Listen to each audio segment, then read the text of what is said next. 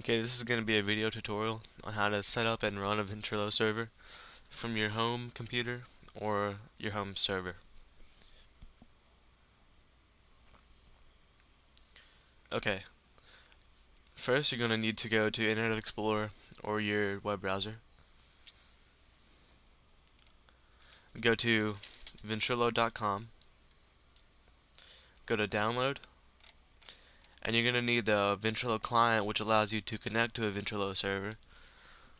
You're going to download the Windows version if you're using Windows or Mac OS X if you're using Mac, but you know this is not a Mac tutorial, so okay. And here's your servers. You need to download this enable to have a Ventrilo server, obviously. So I'm gonna download the Windows, uh, the Windows version. I've already downloaded it, but I'll download it again, so this will be easy to follow tutorial. Okay. When you're at the server setup, click Next, accept the agreement, your name and all that, destination folder, and it's going to go ahead and install. Shouldn't take too long. No, it takes about two seconds. Okay, now just delete the uh, setup, empty your recycle bin, you're going to click on uh, VentServe and you're going to click on Ventrilo server. Actually, edit your INI file, file first. Okay, this is your INI file, which is basically the configuration file. Like it is the configuration file. So this is what you want your server to be named. I'm gonna make mine.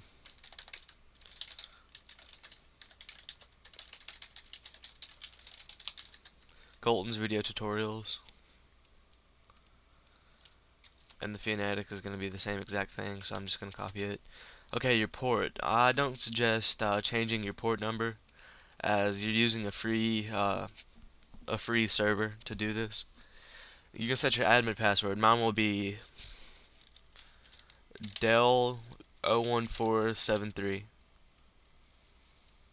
And here, your, this will be your server password which this will make it where you whoever tries to connect they have to enter a password to connect.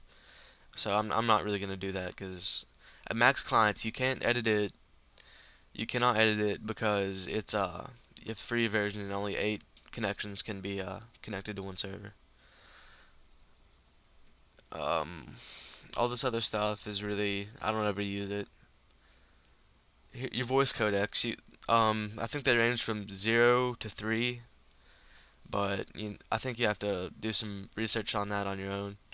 Silent lobby, um, that's just yeah, don't and change it from zero to one, so you will have a silent lobby, so people can't just hang out in the lobby; they have to come to a channel.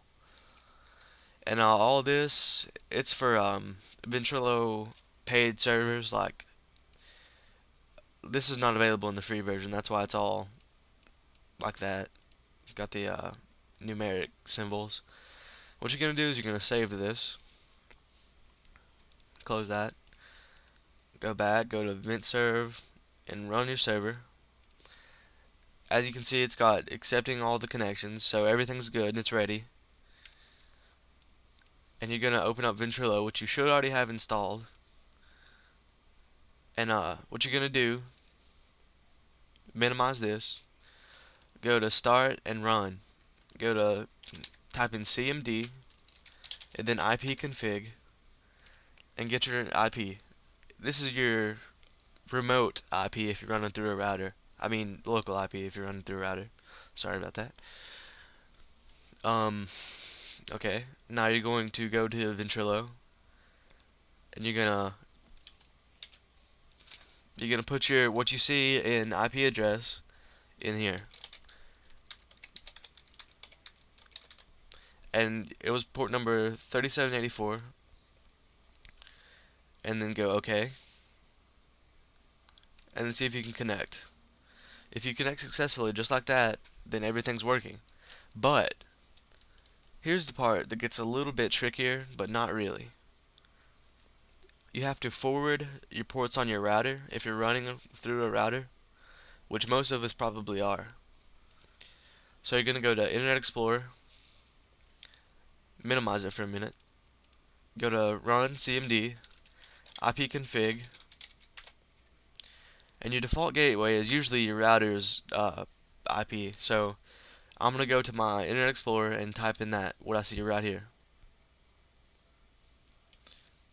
So I'm gonna go 192.168.1.1. Yours will probably be the same thing. Your uh, username you should already know, and if it's a Linksys router by default, it's already the username is admin and password is admin.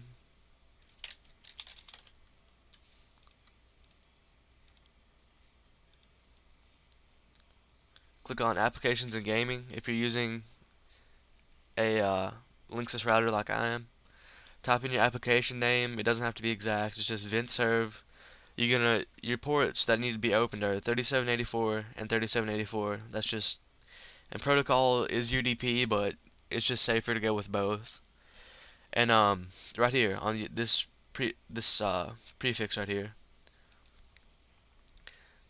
this IP right here matches. Your IP address needs to be in there, your local IP.